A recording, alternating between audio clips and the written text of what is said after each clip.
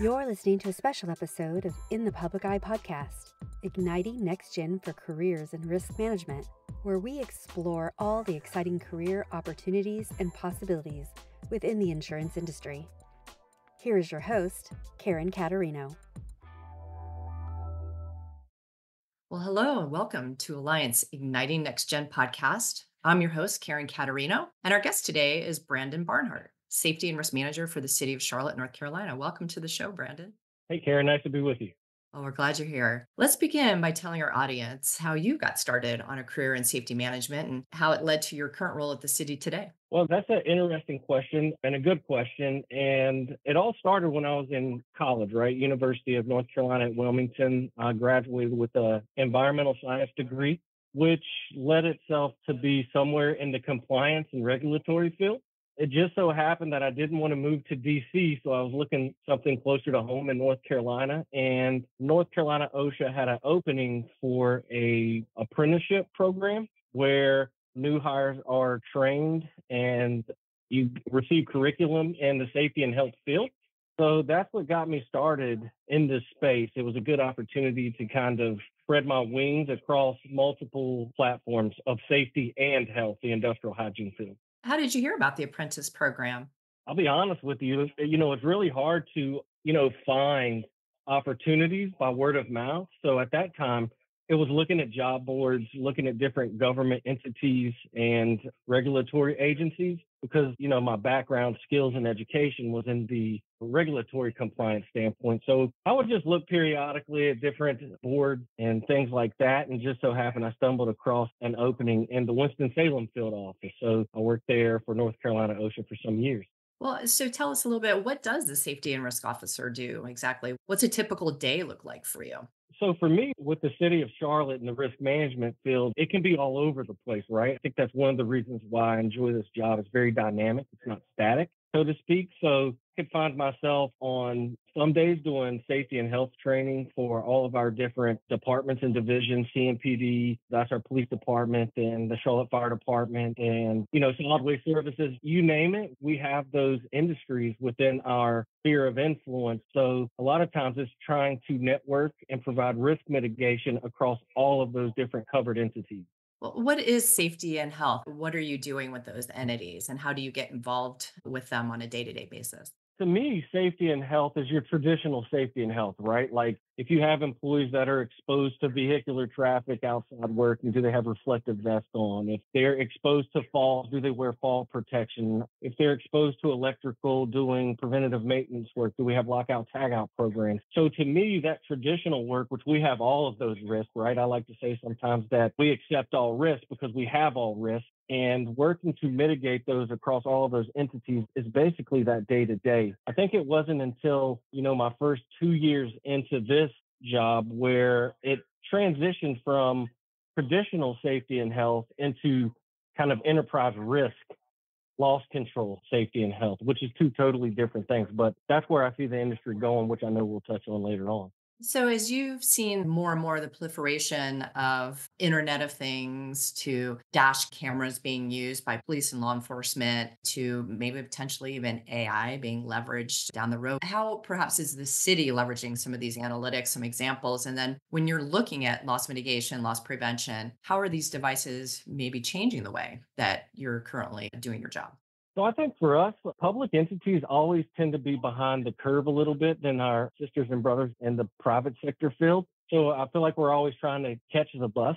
So in this space, we are utilizing some AVL technologies and different things like that that produce positive behavior-based decision-making processes from, you know, our employees when they're operating city of Charlotte vehicles or county vehicles or any of the people we cover from a risk perspective. And, you know, we try to leverage those, but for us, each one of these discussions is a grander discussion amongst leaders in the entire city, right? So we have to onboard it, we have to communicate it. It's kind of like, you know, teaching. so to speak. We're trying to educate everyone on what the successes could be when you implement certain technologies in the field. So that way you get buy in, you get management commitment, and those different things that make it a lot easier. For me, where I think it's going, it just so happened I was asked by two graduate students at Duke University to kind of do a study on next gen safety training and their thesis was around virtual reality. So I'm thinking where it goes at some point in time when you get into complex systems, say our light rail industry or anything to do with electrical or cumbersome type of preventative maintenance work,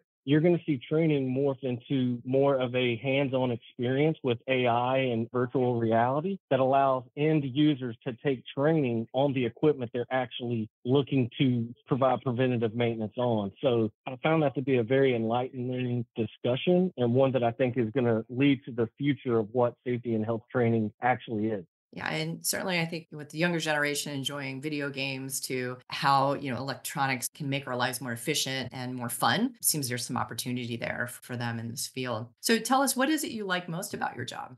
I mentioned this earlier, but the one thing that I like the most about what I do currently is that it's never the same, right? You may have conversations about the same standards, right? Or the same insert whatever you want here, but there's different circumstances about what standard you're trying to reach, right? Or different conversations or a different question that's been brought to you at a different spin on its interpretation, right? So that is the best thing that I like because it's very dynamic. You know, one day I could be working on heat stress for maybe our SWAT team and Charlotte Mecklenburg Police Department. The next day I could be helping solid waste services on how they keep their people safe when they're having to get out of their trucks to do bulky item pickup or anything along those lines. So I'm blessed to live in a beautiful city. I'm born and raised here. We're very fortunate to have a lot of good opportunities for extracurricular events, which draws our people into those events. So determining how we keep them safe and not only our employees, but citizens and patrons and everyone who comes is really an enlightening and very humbling experience.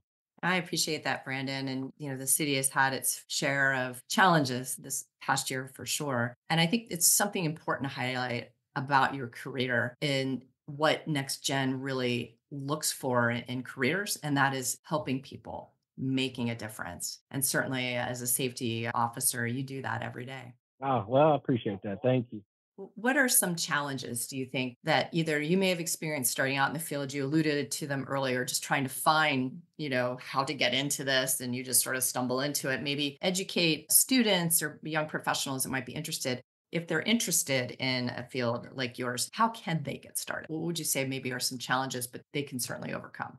You know, to answer this question, I go back to the beginning of our conversation, right? Of, of how did I get into this field? I've been very fortunate, right, to start off in the regulatory compliance field where I was actually doing the investigations of fatalities, accidents, complaints, and, you know, different things that come to light when you operate a business in any state in the United States, right? And my career path and trajectory allowed me to be very fortunate enough to be promoted and work as a Carolina Star consultant, which in North Carolina is the equivalent of the VPP program on the federal level. So I got to see companies that implemented very progressive safety and health management systems. So companies that Fortune 500 companies, people that get it, that when you implement it right, it does a lot of things for you, the end user about retention of employees, recruitment, and different things like that, which for me, I think to answer your question, some of the challenging environments is how do we as safety professionals get that conversation in front of decision makers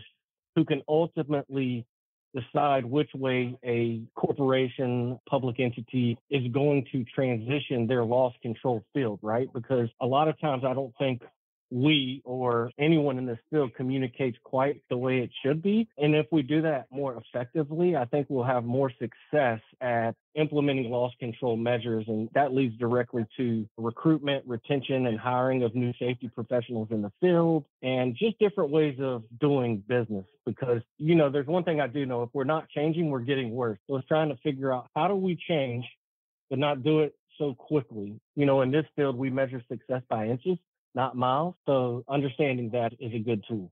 You know, you mentioned it being effective and effective communicators. Talk about some skills that you feel are important to have if you're going to work in a safety and risk field, and what are some growth opportunities for not only just students, but even you? What do you see as far as that is concerned relative to what you do?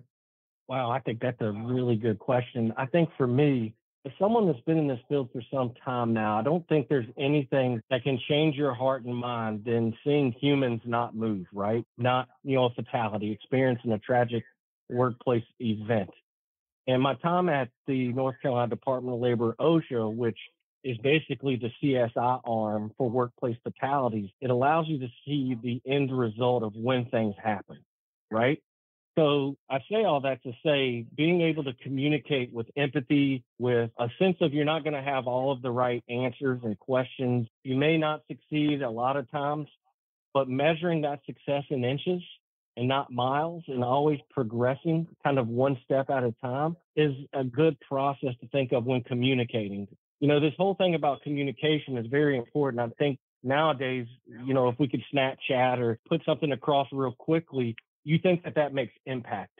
To me, I think communicating in person versus through quick series of conversations, I don't think it's as impactful. So we as communicators have to figure out how do we reach our audience to get them to want to do something, right? You got to find out what your want is and go out and try to do that intently. So some things that I think you can find that can help you in this endeavor is trying to immerse yourself in thinking of what it could be like to work in conditions that maybe aren't what you think they should be for 2024, moving into 2025, right? Put yourself into certain situations that give you that empathy and allow you to communicate at a different level. And I think for any of us that have managed people before, I think it's good to say that, you know, you don't manage two to five people the same way. We all have different ways we receive information and communicate it. So trying to figure out how you do that and tailor your conversations about where you're at at that moment instead of looking at it from a 365 or a ceiling perspective and kind of get in there, get into the game and, and kind of bring it home to who your audience is, whether that's a CEO, a director, a line supervisor. You want to figure out their why. And then when you communicate it, it, it leads to better results. You know, you had mentioned earlier ERM or enterprise risk management. Perhaps talk about that in terms of really the growth and evolution, if you will, of ERM and safety and health organizationally wide, and perhaps share some of the things, you know, the city's looking to do in that respect as an example. Yeah, I think you're right. Earlier on, I did mention the growth of a safety and health professional, right? Like, I think when you first start out, you're looking at things traditionally, right? Is there a standard for you to wear fall protection when exposed to certain heights? Yes. When you do electrical work, are you supposed to follow lockout, tagout, or electrical safety work practices? Yes. But when you mature in your career field and you get to a space like enterprise risk management where it's asking you to be proactive versus reactive, I think that's the key component to what we're trying to do. So for us, we're trying to turn the city, the 15th largest city in the United States, is like a battleship. You don't turn on a dime. It's kind of an ease or a curve. I like to say you're on a bend trajectory. And so, what I think we're trying to do here is have good conversations around getting away from reactive health, safety, and loss control measures and getting to proactive health and safety measures, which the ERM program does that, right? You identify your risks, you control them with certain risk categories and risk registries and make people responsible for those things proactively. You know, I think that's what we're trying to do. And so much so here in the city, we have a couple of divisions, aviation, which is our most progressive division that Charlotte Douglas International Air. For those that may not know, they're very progressive and they have the beginnings of a very good ERM program. And not only that, aviation, our division, is one of the only airports in the entire United States that are in the Carolina Star program, which is that VPP equivalent for the highest recognition you can get from an OSHA perspective. So they get it, they understand it, and I think that's going to lead to great outcomes for everyone that's involved employees, management, CEOs, and actually the stakeholders, which is our citizens that live in and around the city of Charlotte and the state of North Carolina. I like the acronym. Everyone's a risk manager with ERM, right? Everybody is. And so, certainly, safety and health is a key aspect to ensuring people get home safe at night. Absolutely. What's your best advice for students that are considering a career working in health and safety? That's a good question. I think one, finding a university or a mechanism to get training, information, resources is really key for anyone who's considering to get into this field, right? I like to say that at the beginnings, you like to think that you're going to make all of this money starting out. And really, what I didn't know when I was younger is that it wasn't the money I was seeking, it was the knowledge, right? So if you seek that knowledge at the very beginning that gives you that foundational level to execute through your career, the other things follow, right? The happiness, you know, the money, the different things like that. So I think anyone that's starting out in this field is try to immerse yourself in the foundational levels of what career you're getting into, whether that's health and safety, insurance, loss control, whatever that may be. So what area of, you know, the country you're in look for opportunities to get involved with safety and health conferences. Like for me, you know, I've been involved in multiple safety and health conferences. I'm currently the president of the Charlotte Regional Safety and Health Conference now, which is a partnership between the North Carolina Department of Labor,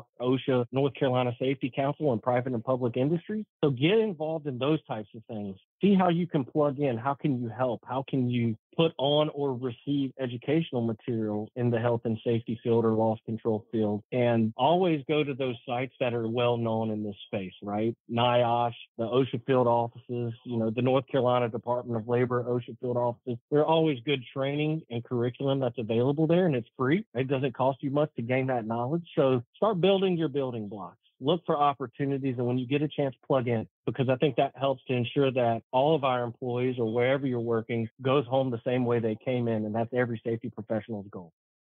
So brandon we talked about some entry level opportunities for students that are considering the field of health and safety. Are there internship opportunities that you can mention or tag them into even in your area or where they can look for wherever they may live yeah, that's a great question. I think we were discussing earlier some of your regional conferences and things like that, what we're doing internally. So the city of Charlotte has a very robust internship program that you can try to plug into. But also as the president of the Charlotte Regional Safety and Health Conference, what we're doing this year in conjunction with the American Society of Safety Professionals, ASSP, is we're sponsoring four students to give them the opportunity to attend our conference and hear state of the art, very proactive safety and health health discussions so they can take them back and add them to their, I guess, safety and health toolbox, so to speak. So that's one way you could do it. And another thing we're doing is that for the first time, we are offering uh, student discounts for anyone that's enrolled in an occupational safety and health field in order to attend our conferences. And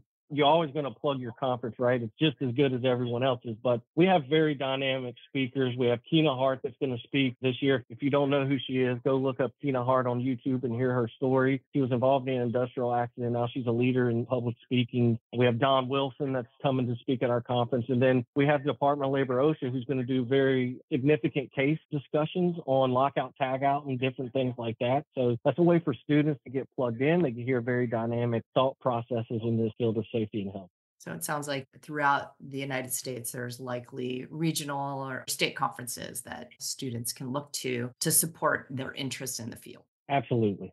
Well, Brandon, it's been a pleasure talking with you. Thank you so much for taking the time to be on our show and share your experience today. I appreciate it, Karen. Thank you so much for having me.